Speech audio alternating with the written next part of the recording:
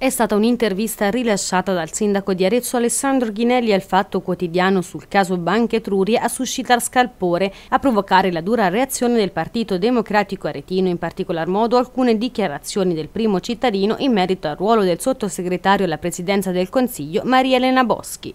Il sindaco rappresenta una comunità, rappresenta in questo momento la città di Arezzo in tutta la sua eh, composizione e non si può permettere assolutamente di fare una, un out-out dicendo che eh, il sottosegretario Boschi non può eh, venire in città. Eh, mi sembra veramente una cosa eh, pretestuosa e che forse eh, alzare la polemica sulle banche serve a, a non far vedere quali sono le magagne di questa amministrazione. Ecco, continua a far discutere però questa questione banche, banche Etruria soprattutto da Arezzo.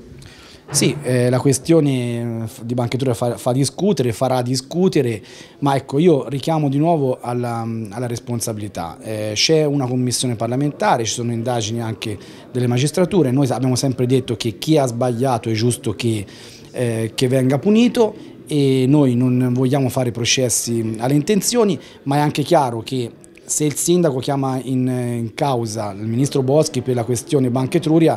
devo dire che il sindaco dovrebbe guardare tra chi l'ha sostenuto in campagna elettorale e anche tra qualcuno dei membri del, del Consiglio Comunale che ora magari non è più presente in Consiglio